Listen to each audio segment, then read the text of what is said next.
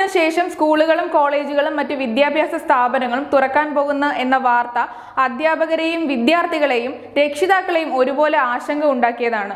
Covid വ്യാപനം തടയാൻ സർക്കാർ ഇത്രയേറെ മുൻകൈ എടുത്തിട്ടും ഇപ്പോഴും കോവിഡ് വ്യാപനം പൂർണമായും തടയാൻ കഴിയാത്ത സാഹചര്യത്തിൽ സ്കൂളുകളും കോളേജുകളും തുറന്നാൽ രോഗവ്യാപന സാധ്യത കൂടുകയുള്ളൂ. എന്നാൽ സ്കൂളുകൾ തുറന്നിട്ട് അധികം നാളായിട്ടില്ല.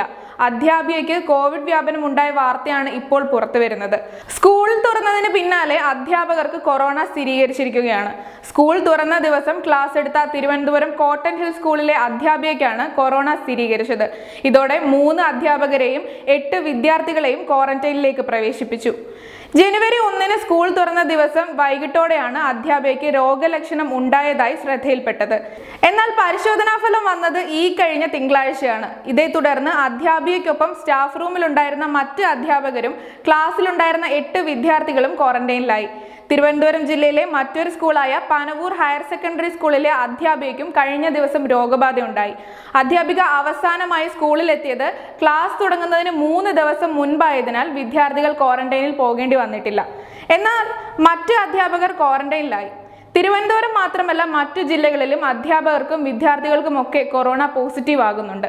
ഇത്തരം സംഭവങ്ങൾ അധ്യാപകരെയും വിദ്യാർത്ഥികളെയും രക്ഷിതാക്കളെയും കടുത്ത ആശങ്കയിലാക്കുകയാണ്. വിദ്യാർത്ഥികൾ അധികം പുറത്ത് സഞ്ചരിക്കുന്നവരല്ല എന്നാൽ അധ്യാപകർ സമ്പർക്കം കൂടുതലാണ്. ഇത് വിദ്യാർത്ഥികളിലേക്ക് രോഗം എത്തുമോ എന്ന ആശങ്കയിലാണ് ഇപ്പോൾ രക്ഷിതാക്കൾ. അതേസമയം അധ്യാപകരും വൈറസ് വ്യാപനത്തെക്കുറിച്ച് കടുത്ത സമ്മർദ്ദത്തിലാണ്.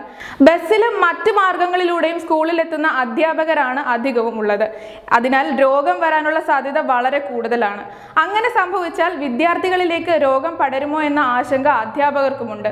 സർക്കാർ എല്ലാവിധ മുന്നൊരുക്കങ്ങളും ഏർപ്പെടുത്തിയിട്ടാണ് സ്കൂളുകൾ വീണ്ടും തുറക്കാനുള്ള പദ്ധതി ഒരുക്കിയത്. എന്നിട്ടും കോവിഡ് വ്യാപനം ഇങ്ങനെ തുടരുന്നത് ആപത്താണ്. വിദ്യാർത്ഥികളെ വെച്ച് ഇങ്ങനെ ഒരു പരീക്ഷണത്തിന് മുതിരുന്നതിന് മുൻപ് ഒന്നുകൂടി ഇതിനെക്കുറിച്ച് വ്യക്തത ഭരണകൂടം വരുത്തേണ്ടതാണ്. ഇല്ലെങ്കിൽ കുട്ടികളെ നല്ല രീതിയിൽ ഇത് ബാധിക്കും. അധ്യാപകർക്കും വിദ്യാർത്ഥികൾക്കും രോഗമുണ്ടാകുന്നത് അവരുടെ തെറ്റല്ല. എവിടെയെങ്കിലും ചെറിയ രീതിയിലുള്ള പാകപ്പിഴകൾ കൊണ്ട് ഒരു സ്കൂൾ തന്നെ പൂട്ടേണ്ട അവസ്ഥ വരികയാണെങ്കിൽ വിദ്യാർത്ഥികളുടെ വിദ്യാഭ്യാസത്തെ തന്നെ അത് ബാധിക്കും. പരീക്ഷയ്ക്ക് നിർബന്ധമായും പഠിപ്പിക്കേണ്ട പാഠഭാഗങ്ങൾ പരിചയപ്പെടുത്തുക പ്രാക്ടിക്കൽ ലാബുകൾ നൽകുക തുടങ്ങിയവ മാത്രമാണ് ഇപ്പോൾ ക്ലാസ്സുകളിൽ നൽകുന്നത്. എന്നാൽ കൊറോണ മാനദണ്ഡങ്ങൾ കൃത്യമായി പാലിക്കാത്തതും സാമൂഹിക അകലം പാലിക്കാത്തതിലടക്കം വീഴ്ച വരുത്തുന്നതുമാണ് രോഗം പടരാൻ കാരണമാകുന്നതെന്ന് ആരോഗ്യവകുപ്പിന്റെ വിശദീകരണമുണ്ട്. ഈ ക്ലാസ് കൊണ്ട് ഫലം കാണുമോ എന്ന സംശയവും അധ്യാപകർക്കുണ്ട്. എങ്കിൽ പിന്നെ ഇത്രയും അപകട സാധ്യത മുൻനിർത്തി ഇത് വേണമോ എന്ന് വീണ്ടും ആലോചിക്കേണ്ടതാണ്.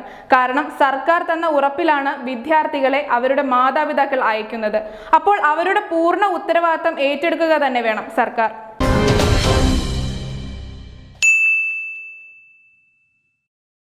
ട്രൂ ടി വിയുടെ കൂടുതൽ വാർത്തകൾക്കായി ഞങ്ങളുടെ ചാനൽ സബ്സ്ക്രൈബ് ചെയ്യൂ ബെൽ ബട്ടൺ അമർത്തൂ.